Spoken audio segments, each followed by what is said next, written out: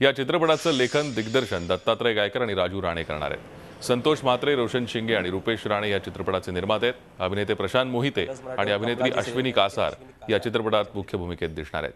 येत्या काही दिवसात या चित्रपटाचं चित्रीकरण सुरू होणार आहे.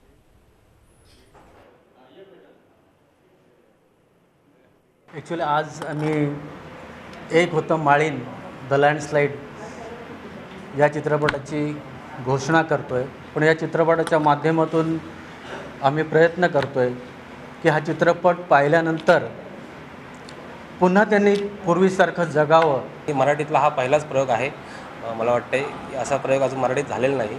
आम्ही ती हिंमत करतो आहे आणि अपेक्षा आहे की आम्ही ही पूर्ण करू. तर यामध्ये हिरो जो आहे त्याचा रोल करतो आहे प्रशांत मोहिते. त्यांनी तालीममध्ये एक कॅरेक्टर केलं होतं. आणि जी हिरोईन आहे लीडमध्ये आपल्याला कलर्स मराठीवर कमला जी सिरियल करायची अश्विनी कासार ती याच्यामध्ये लीड करते. झी चोवीस तास रहा एक पाऊल पुढे.